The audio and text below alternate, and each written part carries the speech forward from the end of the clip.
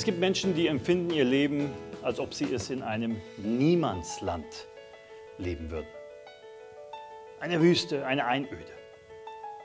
Einsam, unwichtig, ohne Bedeutung, übersehen, abgelehnt. Im Niemandsland. In so einem Niemandsland herrscht eine sonderbare Form von Einsamkeit.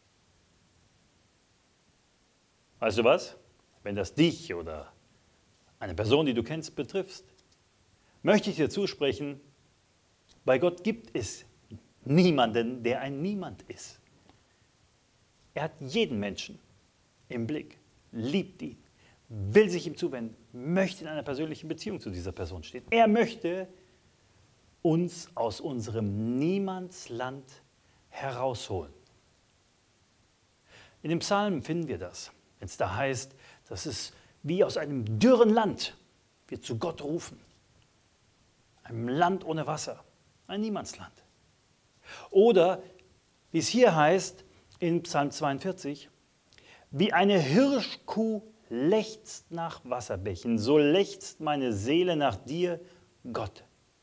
Meine Seele dürstet nach Gott, nach dem lebendigen Gott. Wann werde ich kommen und erscheinen vor Gottes Angesicht?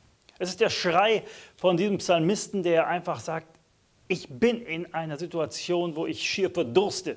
Ich brauche die Beziehung zu Gott. Es ist der Schrei aus so einem Niemandsland.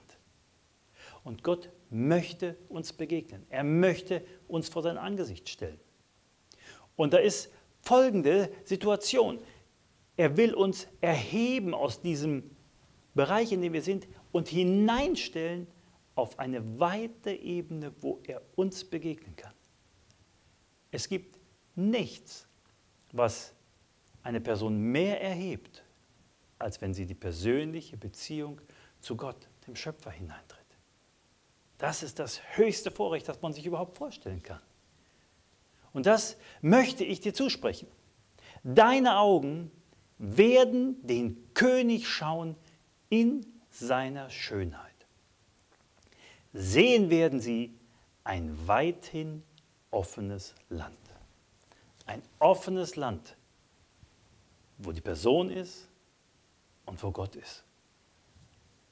Heraus aus dem Niemandsland.